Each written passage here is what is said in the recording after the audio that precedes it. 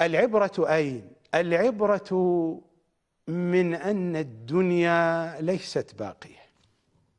العبرة هنا. الدنيا ليست باقية. لن يبقى فيها لا الأخيار ولا الأشرار.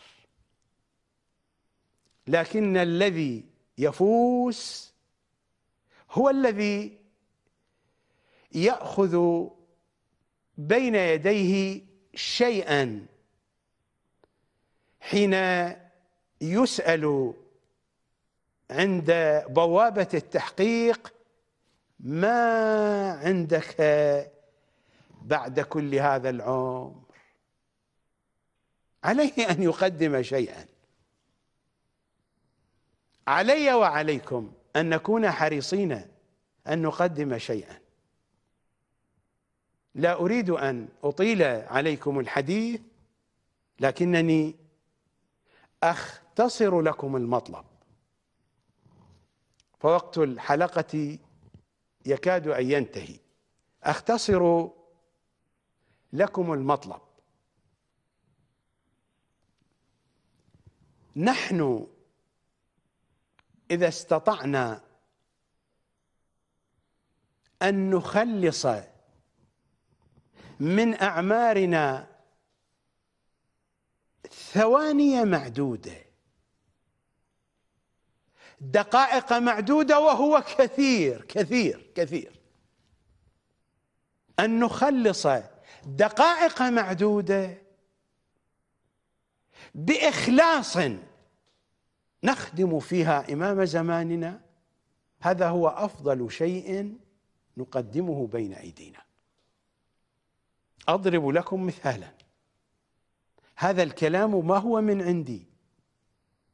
ما أنتم تقرؤون في أحاديثهم أو أنكم تسمعون من الذين يقرؤون أحاديثهم. إذا صلى العبد ركعتين بالحدود الواجبة ولكن بإخلاص فإنه قد ضمن الجنة طيلة حياته. ركعتان بحدود الواجب. كم من الوقت نحتاج لأدائهما؟ دقائق. هذا هو الذي أقصده. ركعتان فقط. ركعتان بحدود الواجب. إذا صلى العبد ركعتين بإخلاص من أولهما إلى آخرهما فقد ضمن الجنة. نجا.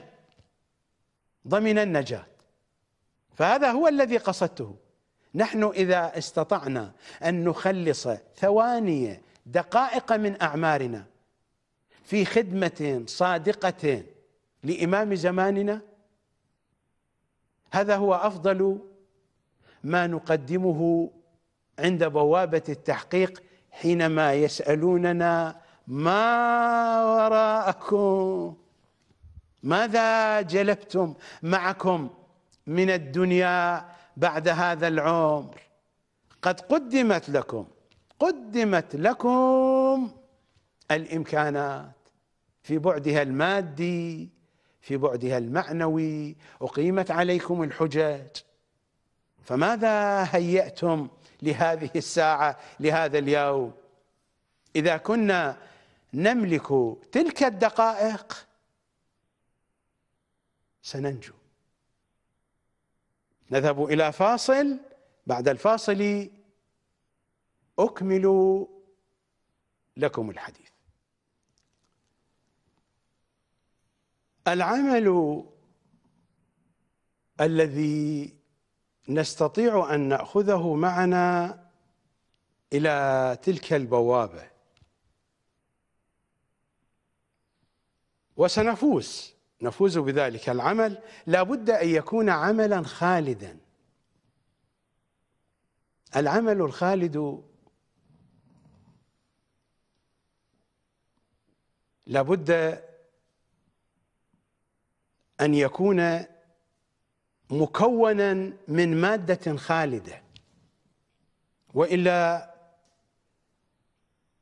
القصور ستنتهي. والسيارات الراقية ستنتهي والملابس تنتهي.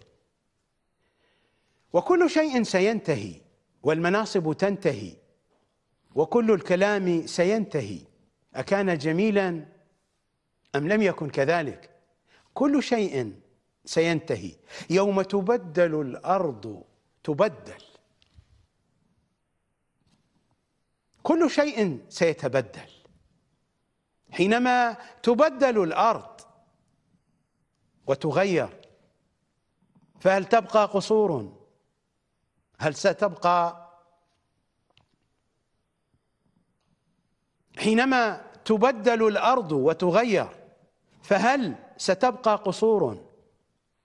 وهل تبقى مدن غابات جبال بحار؟ كل شيء سينتهي.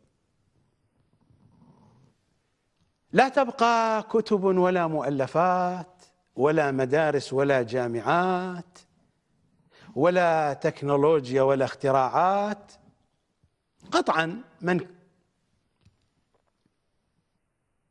قطعا كل شيء كان نافعا لحياة الناس له أجر. قد يأخذه صاحبه في الدنيا وقد يأخذه صاحبه في الآخرة. أنا لا أريد أن أدخل في هذه التفاصيل ولكن كل شيء سينتهي. لا يبقى إلا الشيء الذي تكوينه. من مادة الخلود. كل من عليها فان. ويبقى وجه ربك. مادة الخلود من الآخر هي في ولاية علي. ولذا فإن عليا هو الذي يصدر حكم الخلود لأهل الجنان وأهل النيران. وأقول لأهل الجنان خلود خلود هو الذي يقول لست أنا. وأقول لأهل النيران خلود خلود. من الآخر الوقت يجري. من الآخر من الآخر المادة التي تكوينها تكوين خالد أشهد أن عليا ولي الله. هذه مادتها مادة خالدة. المحتويات خلود في خلود. لأنها تنتمي إلى سر الخلود إلى جوهر الخلود إلى إكسير الخلود. تنتمي إلى عقيدتنا بولاية علي وآل علي. أشهد أن عليا ولي الله. حاربتها السقيفة سقيفة بني ساعدة في جميع الاتجاهات. حتى في مضمونها بلفظ آخر. حي على خير العمل. ما معناها؟ أشهد أن عليا ولي الله. من هنا قامت السقيفة قام الخليفة عمر بإزالتها. السقيفة بكل تفاريعها حاربت. أشهد أن عليا ولي الله ظاهرا وباطنا. لفظا ومضمونا أصولا وفروعا. سقيفة بني ساعدة النقيض الكامل. لهذا الشعار لهذه العقيدة أشهد أن عليا ولي الله. لا شأن لنا بهم ألا لعنة الله عليهم. لا شأن لنا بهم. أشهد أن عليا ولي الله حاربتها حوزة النجف. ولا أتحدث عن النجف في إطار الجغرافيا. هناك من حاربها في مشهد هناك من حاربها في الكاظمية هناك من حاربها في قم هناك من حاربها في إصفهان هناك من حاربها في نجف أهباط حاربوها في أماكن عديدة. لكن كل هذه التفاريع تعود إلى البؤرة القذرة إلى حوزة الطوسي إلى عين القذارة هذه. حوزة النجف مراجع النجف وكربلاء حاربوا أشهد أن عليا ولي الله ولكن بأسلوب شيطاني. يجيزون ذكرها في الأذان والإقامة بشرط عدم الجزئية. ووالله هذه إهانة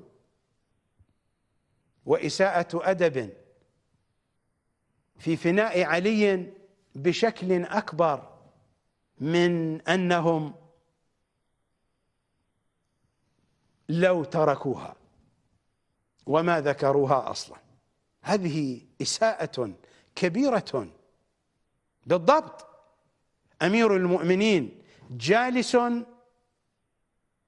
مع رسول الله. لو سلمنا على رسول الله وتركنا عليا ما سلمنا عليه. أفضل من أن نسلم على رسول الله باحترام ونسلم على علي بسوء أدب. أيهما أفضل؟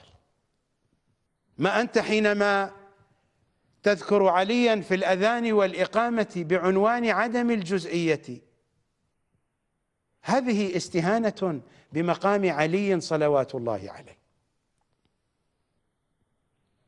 ولكننا نتحدث مع من؟ ولكننا نتحدث مع من؟ مع رؤوس ملئت بغائط قذارات النواصب. لا شأن لنا بهم. فحوزة النجاة حاربت. أشهد أن عليا ولي الله في الأذان وفي الإقامة وفي التشهد الوسطي والأخير في الصلاة. ما هو هذا السيستاني؟ فتاوى السيستاني يقول إذا ذكرت الشهادة الثالثة في التشهد الوسطي والأخير بغفلة بجهل لا بأس بذلك لكنك إذا ذكرتها قاصدا معتقدا بها مقدسا لها فعليك أن تقضي صلاتك. لماذا؟ لأنها تبطل الصلاة. وإلا لماذا أقضي صلاتي؟ لأن صلاتي صارت باطلة لأنني ذكرت عليا قاصدا عامدا عارفا ومعتقدا بوجوب ذكرها. وسائر المراجع كذلك. ما أنا قلت لكم أذكر السيستانية لأنه المرجع الأعلى. أنا لا أتحدث عن الصغار أنا أذهب مباشرة إلى الرأس الكبير. كي أضربه. لا شأن لي بالرؤوس الصغيرة. وإلا فإن الرؤوس الصغيرة هي الأخرى قذرة قذرة قذرة بهذه العقائد النجسة. حتى حينما يتحدثون عن إعلان الإسلام لا يشترطون الشهادة الثالثة في إعلان الإسلام. أي إسلام هذا من دون اشتراط علي فيه؟ تف على إسلامكم هذا. أي إسلام هذا؟ على أي حال؟ على أي حال؟ نحن نذرنا أنفسنا لهذه الشهادة. انذروا أنفسكم أيضا. تمسكوا بها وليعلم كل واحد منكم شخصا واحدا رجلا كان امرأة كبيرا صغيرا وخذوا هذا العمل الخالد معكم. أتعبوا أنفسكم دقائق في تعليم هذا الشخص أو ذاك. وحق الحسين هذا هو العمل الخالد. بذلك تنجون. تنجو انجو. هذا هو سبيل النجاة. تأخذون عملا خالدا لأن الأرض لو بدلت لأن الأرض لو بدلت فإن الأمور غير الخالدة ستبدل. الأمور الخالدة لن تستطيع الملائكة التي تبدل الأرض وتغيرها أن تبدل الأمور الخالدة. هذا عمل خالد بمادة الخلود. تمسكوا بأشهد أن عليا ولي الله خصوصا خصوصا في صلواتكم الواجبة اليومية في التشهد الوسطي والأخير باعتقاد من أنكم إذا ما ذكرتم هذه الشهادة في صلواتكم فإن صلواتكم باطلة بالضبط بعكس فتوى السيستاني بدرجة مئة بالمئة. بعكس فتاوى مراجع علماء النجف بعكس بعكس فتاوى مراجع النجف وكربلاء. لماذا؟ لأن الصواب في خلافهم لأن الرشاد في خلافهم. احملوا معكم هذا العمل الخالد وأنتم تقبلون على بوابة التحقيق. إذا ما سألوكم عند البوابة ماذا حملتم معكم من الدنيا؟ ماذا جنيتم بعد هذه الأعمار؟ قولوا هذا علمنا فلانا علمت فلانة أن تقول في التشهد الوسطي والأخير بعنوان الوجوب بعنوان أنها سر طهارة الصلاة.